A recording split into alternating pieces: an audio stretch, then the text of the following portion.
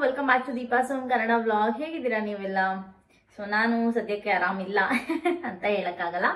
So ನಾನು ಕೂಡ ಆರಾಮಾಗಿದ್ದೀನಿ. ನೀವೆಲ್ಲರೂ ಚೆನ್ನಾಗಿದ್ದೀರಾ ಅಂತ ಅನ್ಕೊಂಡು ಇವತ್ತಿನ ಬ್ಲಾಗ್ನ ಸ್ಟಾರ್ಟ್ ಮಾಡ್ತಾ ಇದ್ದೀನಿ. ನಿಮ್ಗೆ ಆಲ್ರೆಡಿ ಗೊತ್ತು, ನಾನು ಲಾಸ್ಟಿಕ್ ಸರ್ಜರಿ ಮಾಡಿಸ್ಕೊಂಡು ಲಾಸ್ಟ್ ವಿಡಿಯೋ ಅಪ್ಲೋಡ್ ಮಾಡಿದೆ. ಅವಾಗ ನೀವೆಲ್ಲರೂ ತುಂಬಾ ಜನ ಕೇಳಿದ್ರಿ, ಏನಾಯ್ತು ಪ್ರಾಸೆಸ್ ಹೇಗಿರುತ್ತೆ ಇದೆಲ್ಲ?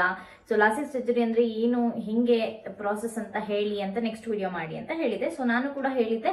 ನೆಕ್ಸ್ಟ್ ವಿಡಿಯೋದಲ್ಲಿ ನಿಮಗೆ ಪ್ರೈಸ್ ಕೂಡ ಹೇಳ್ತೀನಿ. ಇನ್ ಡೀಟೇಲ್ ಆಗಿ ವಿಡಿಯೋನ ಮಾಡ್ತೀನಿ ಅಂತ ಹೇಳಿದೆ. ಸೊ ಅದನ್ನ ಸ್ಟಾರ್ಟ್ ಮಾಡೋಕ್ಕಿಂತ ಮುಂಚೆ ಯಾರೆಲ್ಲ ನನ್ನ ಚಾನಲ್ನ ಸಬ್ಸ್ಕ್ರೈಬ್ ಮಾಡ್ಕೊಂಡಿಲ್ಲ ಪ್ಲೀಸ್ ಹೋಗಿ ಸಬ್ಸ್ಕ್ರೈಬ್ ಮಾಡ್ಕೊಳ್ಳಿ. ಈ ವಿಡಿಯೋ ಲಾಸ್ಟಿಗೆ ಇಷ್ಟ ಆದರೆ ಒಂದು ಲೈಕ್ ಕೂಡ ಮಾಡಿ. ನಿಮ್ಮ ಫ್ರೆಂಡ್ಸ್ ಫ್ಯಾಮಿಲಿ ಒಟ್ಟಿಗೂ ಶೇರ್ ಮಾಡ್ಕೊಳ್ಳಿ ಬಿಕಾಸ್ ಸ್ವಲ್ಪ ಜನಕ್ಕೆ ಇದು ಯೂಸ್ ಆದ್ರೂ ಆಗ್ಬೋದು. ಯಾರು ನಂತರ ಪವರ್ ಗ್ಲಾಸಸ್ ಎಲ್ಲ ಯೂಸ್ ಮಾಡಿ ತುಂಬಾ ಸಫರ್ ಮಾಡಿರ್ತಾರೆ, ಅವರಿಗೆ ಮೋಸ್ಟ್ಲಿ ಯೂಸ್ ಆಗ್ಬೋದು ಇದು. ಸೊ ಫಸ್ಟ್ ನನ್ನ ಜರ್ನಿಯಿಂದ ಸ್ಟಾರ್ಟ್ ಮಾಡ್ತೀನಿ. ತ್ರೀ ಇಯರ್ಸ್ ಬ್ಯಾಕ್ ನನಗೆ ನಾನು ಚೆಕ್ ಮಾಡ್ಸಕ್ ಹೋದಾಗ ನನಗೆ ಯಾಕೋ ಸ್ವಲ್ಪ ದೂರದ ಕಾಣಿಸ್ತಾ ಇಲ್ಲ ಅಂತ ಅನ್ಸಕ್ಕೆ ಸ್ಟಾರ್ಟ್ ಆಯ್ತು. ಅದಾದ್ಮೇಲೆ ಸ್ವಲ್ಪ ಸ್ವಲ್ಪ ದಿನ ಹೋದಂಗೆ ನನಗೆ ಯಾಕೋ ತಲೆನೋವು ಬರ್ತಾ ಇದೆ, ಪದೇ ಪದೇ, ಯಾಕೆ ಈ ತರ ಆಗ್ತಿದೆ, ಐ ಪೇನ್ ಬರ್ತಾ ಇದೆ, ಯಾಕೆ ಹಿಂಗ್ ಆಗ್ತಿದೆ ಅಂತ ನಾನು ಚೆಕಪ್ ಮಾಡ್ಸಕ್ ಹೋದಾಗ ನನಗೆ ಒನ್ ಪಾಯಿಂಟ್ ಫೈವ್ ಸಿಲಿಂಡರ್ ಕಿತ್ತು ಅಂಡ್ ಅದು ಸ್ಟೇಬಲ್ ಇತ್ತು. ಫ್ಲಕ್ಚುಯೇಟ್ ಆಗ್ತಿರ್ಲಿಲ್ಲ. ಅಂದ್ರೆ ಕೆಲವೊಬ್ರಿಗೆ ಒನ್ ಇಯರ್ಗೂ ಮತ್ತೆ ಇನ್ನ ನೆಕ್ಸ್ಟ್ ಇಯರ್ ಚೆಕ್ ಮಾಡಿದ್ರೆ ಜಾಸ್ತಿ ಆಗ್ಬಿಡತ್ತೆ ಒಂದೇ ಸಲ.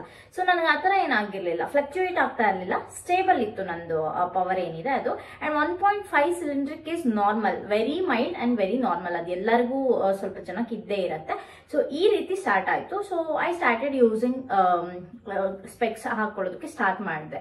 ಸೊ ನೀವು ನಂಬ್ತಿರೋ ಬಿಡ್ತಿರೋ ಸ್ಪೆಕ್ಸ್ಗೆ ನಾನು ಇಯರ್ಲಿ ಅಲ್ಲ ಅಂದ್ರೂ ಸಿಕ್ಸ್ ಥೌಸಂಡ್ ರುಪೀಸ್ ನಾನು ಪೇ ಮಾಡ್ತಾ ಇದ್ದೆ. ಅಂಡ್ ಪ್ರತಿ ವರ್ಷನೂ ಹೊಸ ಹೊಸ ಲೆನ್ಸ್ನ ತಗೋತಾ ಇದ್ದೆ. ಆಬ್ವಿಯಸ್ಲಿ ಅವ್ರು ಹೋದಾಗ ಚೇಂಜ್ ಮಾಡಿ ಅಂತ ಹೇಳ್ತಾರೆ, ನಾನು ಕೂಡ ತಗೋತಾ ಇದ್ದೆ. ಸೊ ಸಮ್ಟೈಮ್ಸ್ ಅದು ಮುರಿದೋಗೋದು ಮಧ್ಯ ಮಧ್ಯದಲ್ಲಿ, ಅದಕ್ಕೂ ಮತ್ತೆ ಎಕ್ಸ್ಟ್ರಾ ದುಡ್ಡು. ಸೊ ಇದೆಲ್ಲ ನನಗೆ ಸಿಕ್ಕಾಪಟ್ಟೆ ಒಂಥರ ಸಫರ್ ಮಾಡಿದ್ದೀನಿ ನಾನು. ಅದನ್ನು ಹಾಕ್ಕೊಂಡು ಕೆಲವು ಸಲ ಓಡಾಡಕ್ಕಾಗ್ತಾ ಇರ್ಲಿಲ್ಲ. ಮತ್ತೆ ಲೆನ್ಸ್ ಯೂಸ್ ಮಾಡಿದೆ ಸ್ವಲ್ಪ ದಿನ. ಲೆನ್ಸು ಏನಾಗ್ತಿತ್ತು? ತುಂಬಾ ಇರಿಟೇಷನ್ ಇಚ್ಚಿಂಗ್ ಆಗ್ತಿತ್ತು. ಧೂಳಲ್ಲೆಲ್ಲ ನಾವು ಇದು ಮಾಡಕ್ ಆಗ್ತಾ ಇರಲಿಲ್ಲ, ಓಡಾಡಕ್ ಆಗ್ತಾ ಇರಲಿಲ್ಲ. ಸೊ ಹಿಂಗೆಲ್ಲ ಪ್ರಾಬ್ಲಮ್ ಆಯ್ತು ನನಗೆ.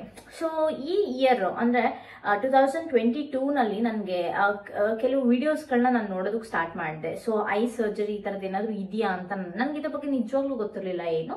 ಸೊ ನೋಡ್ಬೇಕಾದ್ರೆ ನನಗೆ ಅದೇ ನಾನು ಹೇಳಿದ್ನಲ್ಲ ಲಾಸ್ಟ್ ವಿಡಿಯೋದಲ್ಲೂ ಹೇಳಿದೆ. ಒಂದು ಹಿಂದಿ ರಿವ್ಯೂನ ನೋಡಿದ್ದೆ ನಾನು, ಒಂದು ಹಿಂದಿ ಹುಡುಗಿ. ಬಟ್ ಅವ್ರದ್ದು ಆಲ್ಮೋಸ್ಟ್ ಸೋಡಾ ಗ್ಲಾಸ್ ಬರತ್ತಲ್ಲ, ಅಷ್ಟು ಪವರ್ ಇದ್ದವರೇ ಮಾಡಿಸ್ಕೊಂಡಿದ್ದಾರೆ ಇದನ್ನ ಅಂದಾಗ.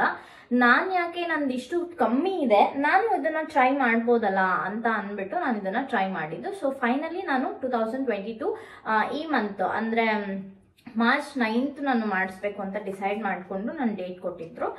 ನಾನೊಂದು ಸಿಕ್ಸ್ ಮಂತ್ ಬ್ಯಾಕ್ ಅವ್ರ ಹತ್ರ ಎನ್ಕ್ವೈರ್ ಮಾಡಿದ್ದೆ. ಅದಾದ್ಮೇಲೆ ಸುಮ್ಮನೆ ಆಗಿದ್ದೆ. ಅದಾದ್ಮೇಲೆ ಮತ್ತೆ ತಿರ್ಗಾ ಒಂದು ಟೂ ಮಂತ್ಸ್ ಆದ್ಮೇಲೆ ಮತ್ತೆ ಚೆಕಪಿಗೆ ಅಂತ ಹೋಗಿದ್ದೆ. ಅವಾಗ ಅವ್ರಿಗೆ ಹೇಳಿದೆ, ಇಲ್ಲ, ನಾನು ಮಾಡ್ಸಕ್ಕೆ ರೆಡಿ ಇದ್ದೀನಿ ಹಾ, ನಾನು ಮಾಡಿಸ್ಕೊಂತೀನಿ ಸರ್ಜರಿನ ಅಂತ ಹೇಳಿದೆ.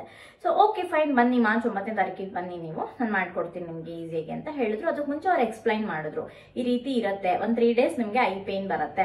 ಒಂದು ತ್ರೀ ಡೇಸ್ ನೀವು ಏನು ಲೈಟ್ ಎಲ್ಲ ಜಾಸ್ತಿ ನೋಡೋ ಹಾಗಿಲ್ಲ. ನೋಡಿದ್ರೂ ಕೂಡ ಇದನ್ನ ಹಾಕೊಂಡೇ ಇರಬೇಕು ನೀವು. ಈ ಕಪ್ಪು ಕನ್ನಡಕ ಹಾಕೊಂಡೇ ಇರಬೇಕು.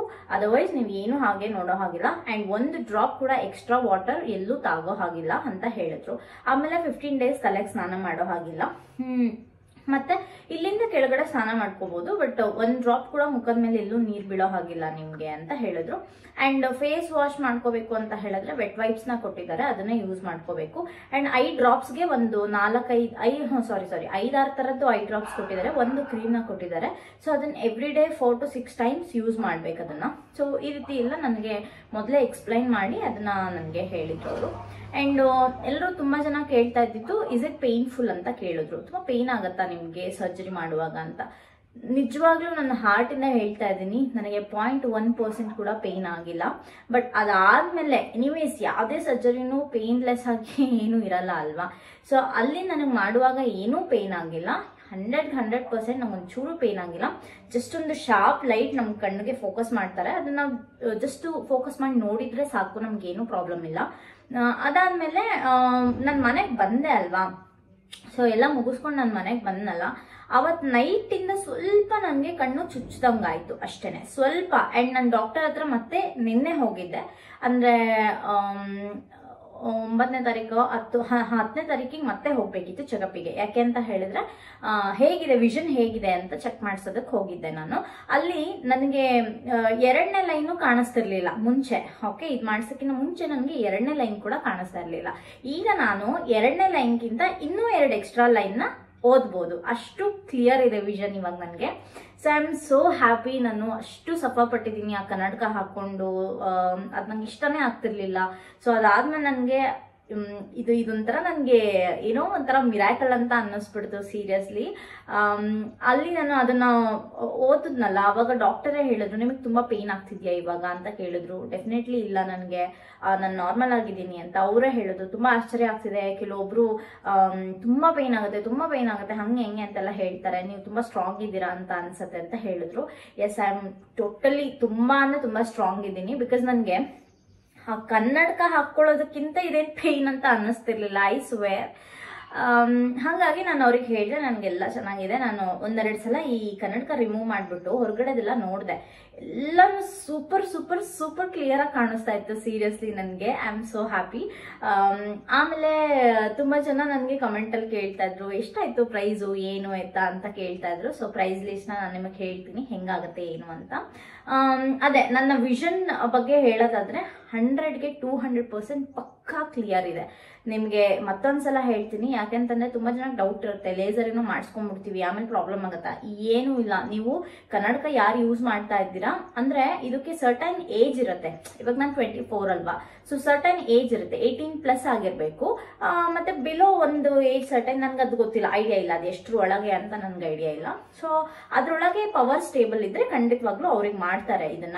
ಈ- ಸರ್ಜರಿನ ಮಾಡಿಸ್ಕೊಂಡಿದ್ದು ಶ್ರುತಾ ಐ ಕೇರ್ ಅನ್ನೋ ಹಾಸ್ಪಿಟಲ್ ಅಲ್ಲಿ. ಸೊ ಇದು ಕನಕಪುರ ಮೇನ್ ರೋಡ್ ಅಲ್ಲಿ ಇದೆ. ನಾನು ನಿಮ್ಗೆ ಅವರ ಡೀಟೇಲ್ಸ್ ಬೇಕು ಅಂತ ಹೇಳಿದ್ರೆ ನನಗೆ ಇನ್ಸ್ಟಾಗ್ರಾಮ್ ಅಲ್ಲಿ ಮೆಸೇಜ್ ಮಾಡಿ, ನಾನು ಅವ್ರ ಡೀಟೇಲ್ಸ್ನ ಕಳಿಸ್ತೀನಿ. ಹಾಗೆ ನಂಬರ್ನ ಕೂಡ ಬೇಕಾದ್ರೆ ಶೇರ್ ಮಾಡ್ತೀನಿ. ಕನಕಪುರ ಮೇನ್ ರೋಡ್ ಅಲ್ಲಿ ಇರುವಂತ ಶ್ರುತಾ ಐ ಕೇರ್ ಹಾಸ್ಪಿಟಲ್ ಅಲ್ಲಿ ನಾನು ಇದನ್ನ ಚೆಕಪ್ ಮಾಡಿಸಿದ್ದು. ಅಂಡ್ ಅಲ್ಲೇ ಅವ್ರ ಅವ್ರ ಹತ್ರನೇ ಎಲ್ಲ ಸರ್ಜರಿನೂ ಕೂಡ ನಾನು ಮಾಡಿಸ್ಕೊಂಡಿದ್ದು. ನನ್ನ Instagram I D make over by Deepa Som ಅಂತ ನಾನು ಡಿಸ್ಕ್ರಿಪ್ಷನ್ ಬಾಕ್ಸ್ ಅಲ್ಲಿ ಹಾಕಿರ್ತೀನಿ. ಅದರಲ್ಲಿ ನಂಗೆ ಮೆಸೇಜ್ ಮಾಡಿ, ಆ ಲಿಂಕ್ನ ಪ್ರೆಸ್ ಮಾಡಿ ನನ್ನ ಮೆಸೇಜ್ ಮಾಡ್ಬೋದು ನೀವು ನನಗೆ ಡೈರೆಕ್ಟಾಗಿ ಸೊ ಅಲ್ಲಿ ನನಗೆ ಕೇಳಿ ನಾನು ನಿಮಗೆ ಖಂಡಿತವಾಗ್ಲೂ ಅವ್ರದ್ದು ಇನ್ಫಾರ್ಮೇಷನ್ನ ನಿಮಗೆ ಕಳಿಸ್ಕೊಡ್ತೀನಿ. ನಿಮಗೆ ತುಂಬ ಅಫೋರ್ಡಬಲ್ ಕೂಡ ಇದೆ. ಏನು ತುಂಬ ಏನು ಜಾಸ್ತಿ ಅಂತ ಲಕ್ಷಗಟ್ಟಲೆ ಸುರಿಬೇಕು ಅನ್ನೋದು ಏನೂ ಇಲ್ಲ. ಸೊ ನನ್ನ ಪ್ರೈಸ್ ಆಗಿದ್ದು ಫಿಫ್ಟಿ ತ್ರೀ ಥೌಸಂಡ್ ಅದರಲ್ಲಿ ಮೆಡಿಸಿನ್ಸ್ ಎಕ್ಸ್ಟ್ರಾ ಓಕೆ ಮೆಡಿಸಿನ್ಸ್ಗೆ ಏನು ಪೇ ಮಾಡಿದ್ರು ನನ್ನ ಹಸ್ಬೆಂಡ್ ನನಗೆ ಐಡಿಯಾ ಇಲ್ಲ. ಇದ್ರದ್ದು ಮಾತ್ರ ಸರ್ಜರಿದು ಮಾತ್ರ ಫಿಫ್ಟಿ ತ್ರೀ ಥೌಸಂಡ್ ಆಗುತ್ತೆ. ಆ್ಯಂಡ್ ಈ ಪ್ರೈಸು ಒಂದೊಂದು ಪವರ್ಗೆ ಮೇ ಬಿ ಫ್ಲೆಕ್ಚುಯೇಟ್ ಆಗುತ್ತೆ ಅಂತ ಅನಿಸುತ್ತೆ. ಅವರು ಚೆಕ್ ಮಾಡಿ ನಿಮಗೆ ಹೇಳ್ತಾರೆ. ಸೊ ನಂದೇನು ಜಾಸ್ತಿ ಇರಲಿಲ್ಲ. ಆ್ಯಂಡ್ ಅವ್ರ ಹತ್ರ ಇದ್ದಿದ್ದ ಪ್ರೈಸ್ ಇಷ್ಟೇ ಫಿಫ್ಟಿ ತ್ರೀ ಥೌಸಂಡ್ ಐವತ್ತ್ಮೂರು ಸಾವಿರ ಆಗುತ್ತೆ. ಇದಾದಮೇಲೆ ಮೆಡಿಸಿನ್ಸ್ ಅದೇ ಹೇಳಿದಲ್ಲ ಮೆಡಿಸಿನ್ಸ್ಗೆ ನಿಮಗೆ ಎಕ್ಸ್ಟ್ರಾ ಬಿದ್ದೆ ಬೀಳುತ್ತೆ. ಸೊ ಅದು ಒಂದು ಐದಾರು ಥರದ್ದು ಡ್ರಾಪ್ಸ್ಗಳು ಕೊಡ್ತಾರೆ. ಅದು ನಿಮಗೆ ಕಂಟಿನ್ಯೂಸ್ ಆಗಿ ಒನ್ ಮಂತ್ವರೆಗೂ ಹಾಕ್ಕೋಬೇಕು ನೀವು. ಮತ್ತೆ ವೈಪ್ಸ್ ಎಲ್ಲ ಕೊಡ್ತಾರೆ, ಅದೆಲ್ಲ ಎಕ್ಸ್ಟ್ರಾ ಆಗುತ್ತೆ. ಅದು ಬಿಟ್ಟರೆ ಇನ್ನು ಅಡಿಷ್ನಲ್ ಚಾರ್ಜಸ್ ಅಂತ ಇನ್ನೇನೂ ಇರೋದಿಲ್ಲ. ಆ್ಯಂಡ್ ನಿಮ್ಗೆ ಅವರು ಒಂದು ಲೆನ್ಸ್ ಹಾಕಿರ್ತಾರೆ. ಲೇಸರ್ ಟ್ರೀಟ್ಮೆಂಟ್ ಆದಮೇಲೆ ಒಂದು ಲೆನ್ಸ್ ಹಾಕಿರ್ತಾರೆ. ಅದನ್ನು ಒಂದು ಫೋರ್ ಫೈವ್ ಡೇಸ್ ಆದಮೇಲೆ ಅದನ್ನು ರಿಮೂವ್ ಮಾಡ್ತಾರೆ. ಅದಾದಮೇಲೆ ನಾವು ಎಲ್ಲದನ್ನು ನಮ್ಮ ಓನ್ ಕಣ್ಣಿಂದ ನಾವು ಎಲ್ಲದನ್ನು ನೋಡ್ಬೋದು. ಸೂಪರ್ ಆಗಿರುತ್ತೆ ಅಲ್ವಾ ಎಕ್ಸ್ಪೀರಿಯೆನ್ಸು. ಆ ಜರ್ನಿಗೂ, ಈ ಜರ್ನಿಗೂ ಇಷ್ಟು ಡ್ರಾಸ್ಟಿಕ್ ಡಿಫ್ರೆನ್ಸ್ ಅಂತ ಅನ್ಸತ್ತೆ ಅಲ್ವಾ.